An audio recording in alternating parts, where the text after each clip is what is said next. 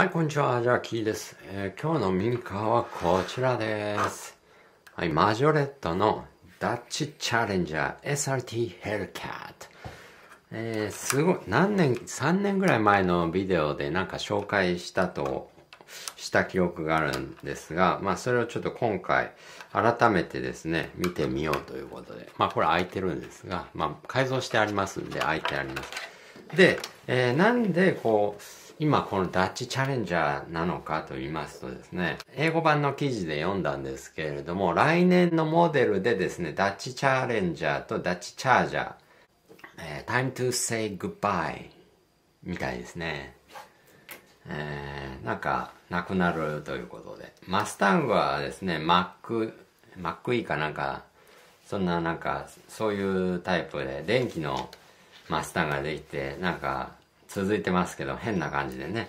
あの、クラウン、クラウンみたいな形ですね。あの、クラウンはパクったんでしょうけども、あの、マスタング、今までのマスタングと全く違う形で、ハッチバックっぽくて SUV っぽいマスタング出てますけども、えーそれをクラウンが多分パクったんだろうなクラウン、新しいクラウンはなんか、それ、その形をパクって、でただ電気にはならなかったですけど、EV にはならなかったんですが、うーん、まあ、そういう進化を遂げたんですけど、ダッチチャレンジャーとダッチチャージャーはどうも廃盤ということで、えーで、まあ、僕の手元にありますんで、僕も、まえーダッチチャレンジャーのオーナーですんで、まあ、今回改めて、うーん、見直してみようと。まあね、アメリカの車で、まあ、ダッチって言ったらね、えースーパースポーツに勝るとも劣らない、まあ、アメリカンスポーツですよね。マッスルカー。僕の中ではフォードよりもやっぱダッチですね。ダッチバイパーとかありましたけど、うん小さい時、一番、そうですね、ダッチっていうのを初めて知ったのはダッチ、えーバイパーですね。あれで。で、あれがすごい衝撃的すぎて、でも、なんかアメリカの中ではこういうダッチチャレンジャーとかダッチチャージャーみたいな、いわゆるセダンタイプの、えー車が、ちゃんとトランクもあって、ボンネットもある。で、FR のね、車がなんかいいみたいなんですけども、僕もこのダッチチャレンジャーはですね、まあまあ気に入ってまして、まあいいっすか。よ、余談で。まあ、じゃあ分解していきましょう。えーっとですね、これマジョレットなんで、まあご覧の通り、ちょっと暗いですかね。ちょっと暗いか。えーミラーがついてて。で、この何がいいって、このドアの開き方がすごくいいですよね。このマジョレットはやっぱドアの開き方が。ドアのギミックがすごく良くて、カチッと、あの、トミカよりはカチッと開く感じがないんですけども、なんか、すごいスマートで、内装もちゃんとありますし、ここドアの内装部分ありますし、こういうところがちゃんと表現されてるのはマジョレット素晴らしい。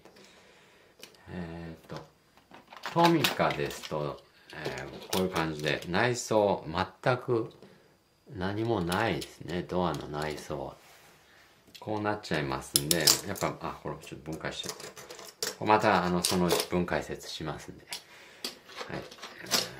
これ素晴らしいなと思います。で、えーこの辺ちょっとマジックで塗ってるんです。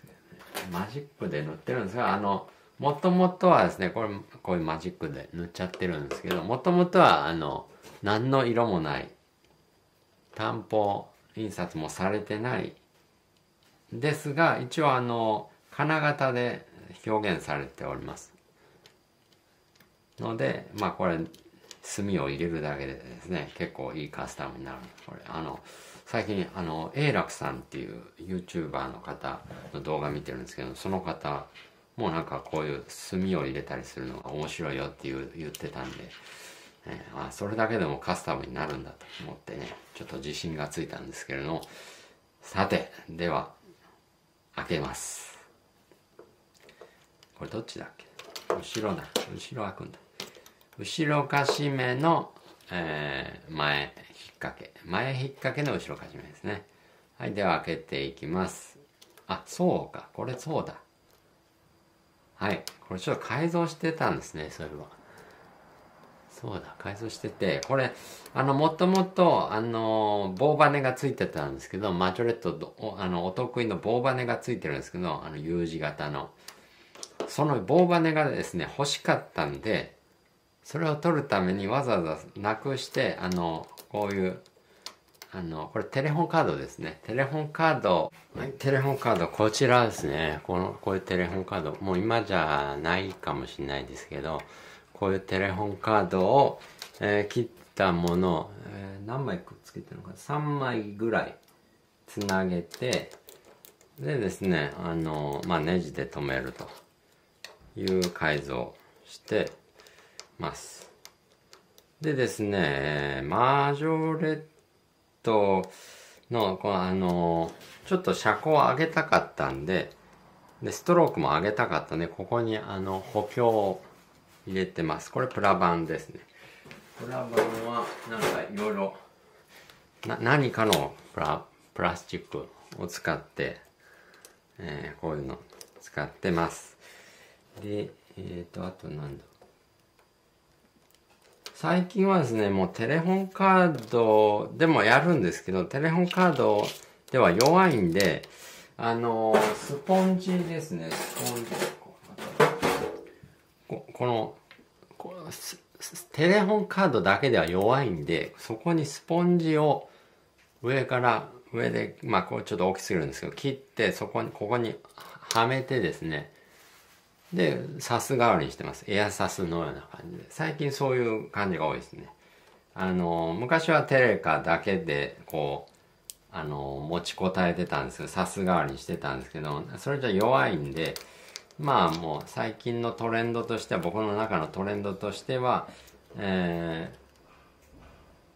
ー、あれですねあのスポンジも使うという感じ。であのテレホンカードが薄くて強いんで一番いいと思います。あのペットボトルを使う時もあるんですがあのペットボトル曲がってるんでこういうなんか透明な透明なやつ透明な箱みたいな何かが入ってた透明な、えー、箱ですね。化粧品とか入ってるやつかな。なんかそういうのを、えー、このサス代わりにしてですね。で、えー、食アブソーバーはこのスポンジでやっちゃうみたいな。そういう改造を最近はしております。はい。ちょっとこれ久々に開けたんで懐かしいんですけどもすごい昔よく頑張って改造したんだなって思いますね。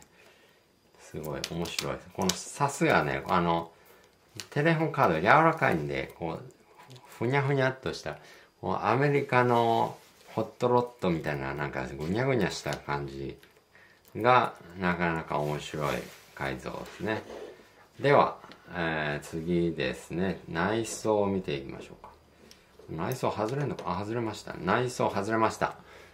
はい、こちらです。これもちょっと改造されてますね。あの、もともとですね、内装がこうつくんですが、えー、マジョレットでよくありがちなんですけれども、ここ、あの、棒バネをここで引っ掛けるので、その引っ掛けるとこ盛り上がってるんですね。その盛り上がってるところにシートをつけますから、えー、シートに変な、えー、出っ張りが出ちゃって、るというねそういうことが起こってたんでそれを取り除いてますだから穴開いてますこれ最初から穴開けといたらもっとなんかねスタイリッシュな感じなんですけどなぜかこれあのもともとのシートはもっとクッションがついていらないクッションがついてます。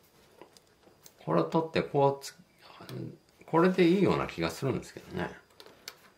まあなんかしなかったですね。でえー、っと内装ここ見てもらうとですね。よいしょ。めっちゃリアルです。ハンドル。もうこれマジョレットすごいですね。この内装。ハンドルとかにちゃんとスポークがあるっていうの。でエアコンの吹き出し口やら、えー、シフトノブもちゃんとあります。ちょっと見えにくいですかね。見えますか？で後部座席もちゃんと省略されてないんですよね。こういうところが本当素晴らしいですね。ちゃんと後ろの座席にも人が乗れる。あのアメリカのアメ車のクーペって結構後ろの座席もあのちゃんと乗れるようにまあ日本人だったら余裕で乗れるぐらいの広さありますんであのカマロとかでもですねちゃんとありますんで今のカマロどうなってんだ？今もあるか。うんまあちゃんとねあるんであの座れます。素晴らしいですね内装。マジョレットの内装は。こうやったら開くんかな？開くんかな？ちょっと。よいしょ。あ開くこうやってこういう感じで成形して、えー、金型成形してですね。で組み立てる時はこうやると。すると立体的になるというね。これ素晴らしいですねこれは。素晴らしいですね。うん。多分ここの座席と後ろの座席が平行なんでこう作って金型からこうピュッて抜くんでしょうね。こう斜めに抜いたらえー、2ピースの金型でもできるかなという感じはします。まあでもプラスチックなんで4ピースとかそんなんで作るんかな。ちょっとその辺は見たことがないんでわからない最近まあメタルの金型はですねあの6ピースぐらいの金型を使ったりして、えー、すごくリアルにできるようになってるんですけども。はい次。じゃあクリアパーツ。クリアパーツはまあマジョレット薄くてですね。結構あのリアル。リアルですね。こうはめた時の凹凸が少ないんで。えー、すごくリアル。これただめっちゃ傷つきやすいんですけどね。薄いなんか傷つきすごいき綺麗なんですけどもちょっと尖ったものとかが当たるともう傷ついちゃいます。まあもうこれもうそもそも結構遊んじゃってるんでまあもう後悔はしないですけどね。マスキングテープしなくても大丈夫ですけど。はいでメタルのボディですね。これ、えー、座席、えー、と、ドアが、ドアのギミックこんな感じです。これはですね、えっ、と、40年前の、あった、これだ。40年前のマジョレット。これでもですね、同じギミック、ドアのギミックがついてます。全く同じです。だ40年間、まあこれ、えー、5年前に買っ、5年、違うな、作られたの5年前ぐらいなんで、えー、だからまあ構造としては35年間全く変わってないもう確立された素晴らしいギミックということですね。このドアの。まあそれを言い出すとまあトミカも変わってはいないんですけども。はい。これ素晴らしい。素晴らしいですね。担保もちょ、えー、担保印刷ほぼずれはないです。ブレーキなどほぼずれなしで。はい。あそうですさっき言うの忘れてたんですけどこのクリアパーツ実はここにヘッドライトのクリアパーツもくっついてました、えー、今はちょっとあのなくなっておりますがそこあのこれ素晴らしいクリアパーツでですね、えー、ヘッドライトまでつながってました。ただそのヘあの違うビデオでも言ってるんですけどもヘッドライトのえ、クリアパーツがなぜかこのサスペンションのところに干渉ししますんでこの車軸に干渉するようになってたんで全くフロントはストロークしなかった。それがなんか滑稽というかなんか何っていう マジョレットは何考えてるんですかっていう感じなんですけどまあでもマジョレットたまにそういうことありますんでなんか見た目重視であの構造がうまくいってないことがたまにありますんでまあそれはそれであのまあ文解説じゃ面白いですけどもでまあそれを修正するのもですねまあカスタムということができると思いますんでまあ楽しみの一環としてねこうやって、うん、僕はまあそれを修理してでサスを変えて車高アップ。ね。うん。車高あれ？車高アップしてる。車高1ミリぐらいアップしてます。はい、こんな感じ。ちょっとですね、今えー、昔、僕これ3年前ぐらいに改造したんです、その頃あの、もうめんどくさいから接着剤つけちゃってるんですね。ので今回、えー、まあ分解しましたんで、えー、せっかくだから、えー、まあネジでもつけようかなと思います。はい。では、えー、来年姿を消すと思われるダッチチャレンジャーダッチチャージャーですね。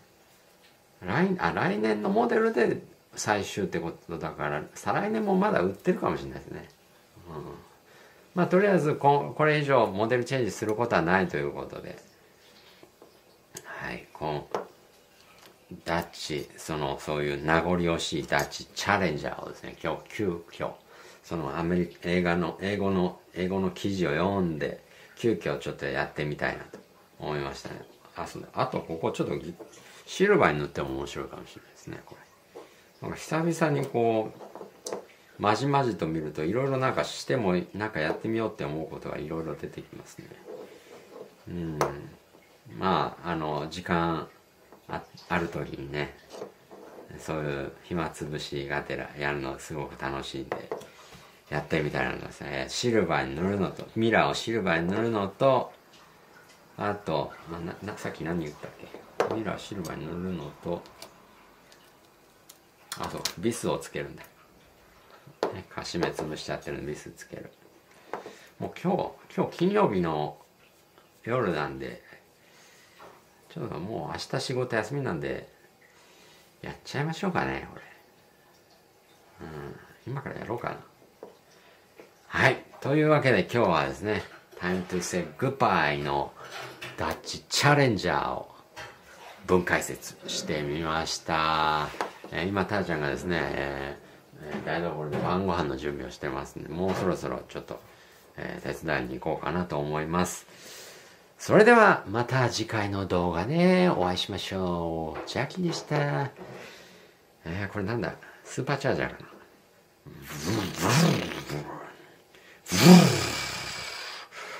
な？Brrr, brrr, brrr, brrr, brrr.